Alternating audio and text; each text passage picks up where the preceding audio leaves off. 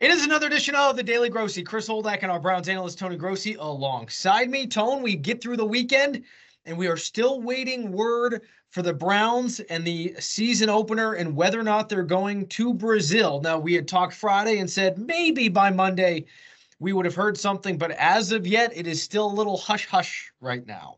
Well, it is publicly. I think the NFL is putting a, uh, making this a tight, uh, lie, uh, a real tight secret. They don't want it out because I think they're going to make the announcement this week, possibly Wednesday. I think uh, representatives are on their way to Sao Paulo to announce uh, this pairing. The question is, it'll be Philadelphia and who? Now, I was told at the owners' meetings that a rep uh, of the Browns was poised to depart for Brazil today if they were the chosen team. I have been unable to confirm whether that's happened. Mm-hmm. Uh, and uh, if it's not Cleveland, it'll be Green Bay. And then the announcement will be made uh, during the week. Um, I do believe, Chris, that the teams involved have been informed now. Uh, I, I think they're under a pledge of total secrecy to make this as big a splash announcement as possible. So we'll just have to wait and see. I haven't been able to confirm it, so I'm not reporting it's the Browns. I still think it is the Browns, but it's just my guess as much as anything. Now, Tony, it's funny because you know you wake up today, you see the calendar is April first. I was fully expecting three or four different, you know, fake accounts on Twitter, Adam Schefter, and all these other ones saying, "Hey, it's the Browns, it's the Eagles," and then everybody getting all excited. Then we go, "Wait, no, it's not actually them. It's not being reported. It's an April Fool's joke." So, um, but you, so we expect potentially Wednesday. And like you said, that's all in the idea that the NFL is going to make a big deal about this, right? Like this Correct. isn't just, hey, Adam Schefter goes on Sports Center. Hey, it's the Browns, it's the Eagles week one. Let's move along talking right. about the NCAA tournament. Right? Yeah, I expect there to be perhaps the commissioner on his way to Brazil or someone from the league office. Uh, a representative from each team that's playing, Philadelphia and whomever their opponent is. Uh, you know, uh, I asked the commissioner about this last week. You know, what what kind of uh, challenges are there staging a game in a completely new market? It's not like they've been there before. And he sidestepped the question, but went on to point out how big a game this is in the NFL mind, because there were like, I think he cited, cited 38 million NFL fans in Sao Paulo. Uh, it is the third largest city in the U.S. in in the world. I don't think mm-hmm. people realize this. You know, there's uh, Tokyo and uh, Mexico City and Sao Paulo, Brazil are the three largest populations in the world. So that that's kind of explains why the NFL is going to Brazil. Um, but uh, at that time, Roger Goodell said uh, they would probably make an yeah. announcement in the next week, which means this week. Yeah. All right, Tone, let's get to some of the stuff on the field. Um, Deshaun Watson was on his podcast, QB Unplugged, with his uh, friend and QB coach Quincy Avery, and he was asked about how he's feeling and the shoulder rehab is going. And he keeps saying, and the phrase we keep hearing is, we're right on schedule. We're right on track. We're right where, we where we need to be. So try to quantify what that means and what the quote unquote ramp up period will look like as we get into mini camp and training camp? Well, I think the Browns and the uh, doctor who performed the surgery out in LA have set up various checkpoints where they want um, Deshaun's rehab slash uh, re, uh, recovery and rehab to be at certain periods of time. And that's why they keep using that where the Browns are using the same phrase. He's right where he needs to be, meaning he's got a ways to go. But at this point in March or beginning of April, they expected him to be lightly throwing. That's what he's done for the last two weeks. Uh, and I understand he went from LA to Florida uh, and and and did more of his therapy there.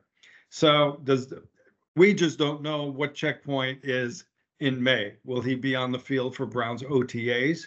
Will he be throwing on his own, or will he be throwing, uh, you know, competitively? Or does that wait until training camp. So uh, they keep saying he's where he needs to be, and we got to trust them. What do we know? You know, we only know what they tell us, and that's where he's at. So everybody at at in the Browns, Stefanski, Andrew Berry, the Haslams, showed no signs of concern that this was going to be a setback, that there will, that there would be any setback in his recovery. All right, Tone, the UFL, the United Football League, got started this weekend. That's The Rock, Dwayne Johnson, the league that he's the commissioner commissioner of, got underway. And my first question is, did you watch? Uh, I watched very briefly. I intend to watch. Uh, something came up. It was Easter Sunday, so I didn't uh, wasn't able to watch too much of the game yesterday. I missed the Saturday game uh, because I was in- intently watching the Houston Golf Open, uh, the PGA. Um, but I do intend to watch. And let me just set this up. The, the United Football League is a merger of the XFL. They took four teams from the XFL, four from the USFL. Remember last year, for the first time, we had two spring leagues competing against each other, which was ridiculous. So this is a good solution to merge those two leagues. Um, the NFL has always wanted, uh, contrary to public opinion, they want another league as a developmental league. They just don't want to fund it. Okay, they don't want to pay for it. That's why the X. Uh, that's why the uh, um, NFL Europe went out of business. NFL Europe was a very productive league for the NFL. It it it promoted quarterbacks, it developed coaches, referees, and all that. So the NFL is not against that sort of thing. The owners just don't want to fund it. So now it appears they have a system where uh, Dwayne Johnson has these agreements with Fox and ESPN, and that's helping to fund what, the NFL considers a developmental league, and it's very good. It's it's good for the NFL, uh, and for for uh, a viewer like me. Uh, hey, if there's nothing else on, I'll turn on a UFL game. What I saw, just I just saw briefly in. Uh, it was the uh, a period in a game. I forgot what game it was yesterday, but there was all kinds of not referee blunders, but officiating uh, um, things that just delayed the game endlessly. Uh, and there were legitimate infractions that they were so trying to sort out. I just lost interest. Now, one thing the UFL shows Dean Blandino, the former head of the NFL Yeah. referee, uh, is actually their eye in the sky, and they take they they show him making a decision on a on a disputed call, and that's kind of interesting, but it really delays the game. I think. Yeah. Um, uh, so I lost kind of interest in that. I'll go back. There are some uh, former NFL players. AJ McCarron, I think, is in the league, Mhm. and and some other familiar names. Here's one thing I'm disappointed at, Chris. Yeah. This new kicking rule, which originated in the XFL, was not brought to the UFL. I'm really disappointed in that because I wanted to see what this thing looked like live. Because Yeah. I, I really think it's going to be interesting and a worthwhile rule change. But they still have kickoffs and touchbacks in this UFL. I don't know why they decided not to take that uh, part of the XFL with them. Tone, could you ever see a world in which the UFL um, gets 32 teams and almost kind of like baseball? Each NFL team has its own minor, for lack of better terms, minor league team where yeah. you you have a you know the Browns right now have four quarterbacks on their roster. One of them could be playing to get game reps. Now I Right. understand there, there's a lot of tentacles and a lot of different logistics that would have to be sewn up with all of that.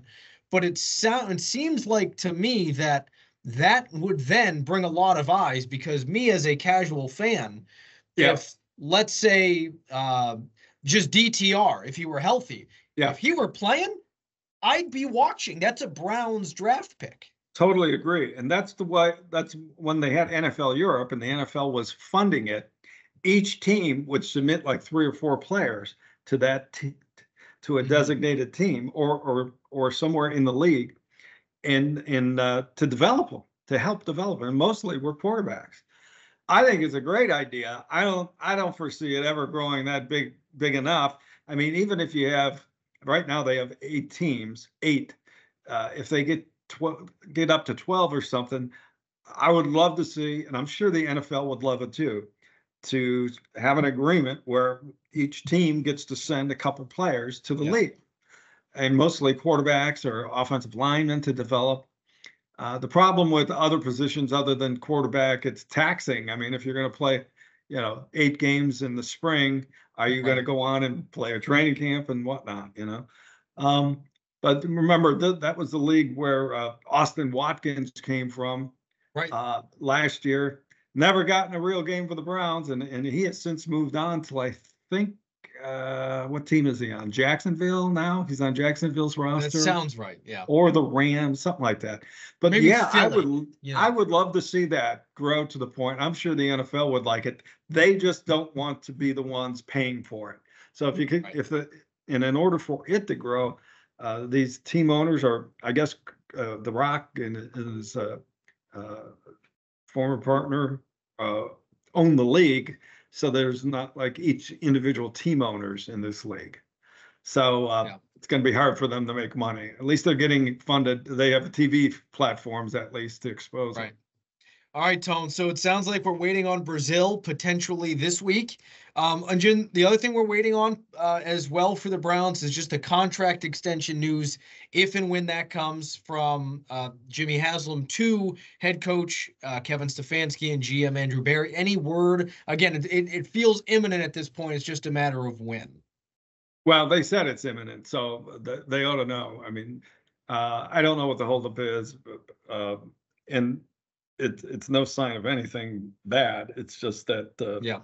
uh, uh, you know, just assume that they have new contracts. The only, the only mystery is for how long. And again, I Yeah. think it's short term, two or three year extensions for each. Both of them will continue to be on the same contract length because the Haslams consider them partners in building this franchise.